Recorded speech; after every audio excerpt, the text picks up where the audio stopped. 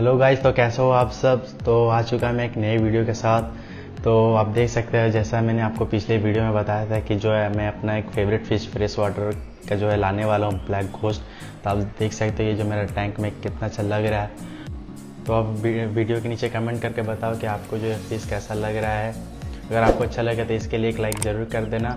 और चैनल पर नए आए हो तो प्लीज़ सब्सक्राइब भी कर देना और बेल आइकन को भी ज़रूर दबा देना।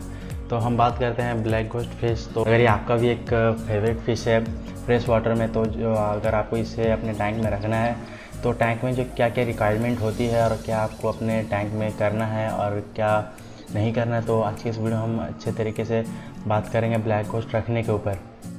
तो आपको क्या चीज़ जो अपने टैंक में जो है लगानी पड़ेंगे ब्लैक होस्ट रखने के लिए। तो सबसे पहले जो मैं बात करना चाहता हूँ, आप देख सकते हो, मैंने जो है नीचे में सैंड रखा है। क्योंकि सैंड इसलिए रखा है क्योंकि इनको जो है सैंड और जो फाइन ग्रेवल्स होती हैं, इनको बहुत अच्छा लगता है। इसलिए और अच्छा एक, और एक ये भी रीज़न है कि इनका बॉडी के ऊपर जो स्केल्स नहीं होता, पूरा स्लिम बॉडी और स्किनी टाइप बॉडी होता है स्किन टाइप तो आप देख सकते हैं स्किन टाइप है। तो इसलिए जो अगर आप वो मोटे वाले ग्रेवल्स रखते हो, वो ग्रेवल्स रखते हो, क्योंकि एक्चुअली उनका जो एजेस वगैरह वो शार्प होते हैं तो फ़िश का जो इंजर्ड होना कॉमन है तो इंजर्ड भी हो सकता है। तो इसलिए आप अवॉइड करें कि ग्रेवल्स रखने के लिए। तो आप अवॉइड करें ग्रेवल्स को जो है आप सैंड आप यूज़ कर सकते हैं कुछ इस तरह से जो है ये कंस्ट्रक्शन वाली सैंड आप कहीं से भी आप ला, ला करके अपने टैंक में सेट कर सकते हो। और दूसरी चीज़ हम बात करते हैं जो ज़रूरी है ब्लैक घोस्ट के लिए कि एक हाइडिंग स्पॉट आप देख सकते हैं यहाँ पर मैंने एक छोटा सा जो पॉट है उसको मैंने कुछ इस तरह से जो है साइड साइड से होल करके यहाँ पर मैंने सेट किया है।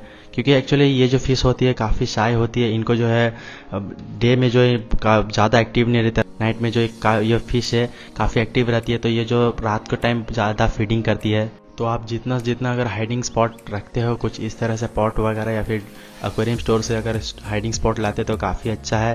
तो और अब हम बात करते हैं तीसरे चीज़ के ऊपर जो काफ़ी मेन है, आपको जो है लाइटिंग लाइटिंग जो आपको डिफ्यूज़ लाइट रखना है डिफ्यूज़ लाइट कहने का मतलब जो है कि आपको जो है नाकर बराबर जो लाइट रखना है, या फिर आप कह सकते हो ब्राइट एरिया बिल्कुल पसंद है क्योंकि आप देख सकते हो यहाँ पर जो मैंने है लाइट ऑन किया सिर्फ़ आपको दिखाने के लिए कि मेरा फेस कैसा है।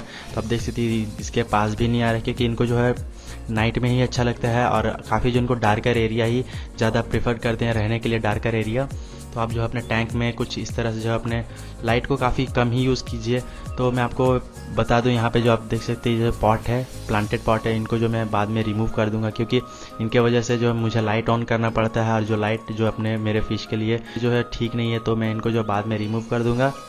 तो आप जो है ब्लैक घोस्ट रखने से पहले अपने कम्युनिटी टैंक में आप एक बात जो है ज़रूर ध्यान रखें कि इसे जो है आप सभी फ़ीस के साथ जो नहीं रख सकते, कुछ जो है गिनी चुनी फीसेस हैं जिनको आप इनके साथ रख सकते हैं, जैसे कि सीकलेट हो गए एंजल फ़ीस हो गए कैट फ़िश हो गए तो आप सोच रहे होंगे कि इस फ़िश का जो प्राइस है, मैंने कितने में ख़रीदा है एक पेयर का?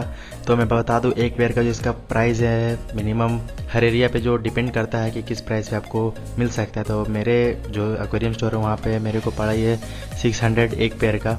तो कुछ ज़्यादा ही कर रहा था तो फिर उसके बाद मैंने बार्गेनिंग करके जो है सिक्स में ख़रीदा है। और मैं बता दूँ, इसकी जो एक लाइफ स्पैन होती है, तकरीबन चार से पाँच साल अगर आपका जो वाटर कंडीशन अगर टॉप रहता है बेस्ट रहता है तो ये काफ़ी अच्छा रहेगा आपके फेदर के लिए। तो चलिए मैं मिलता हूँ आपके साथ नेक्स्ट वीडियो में।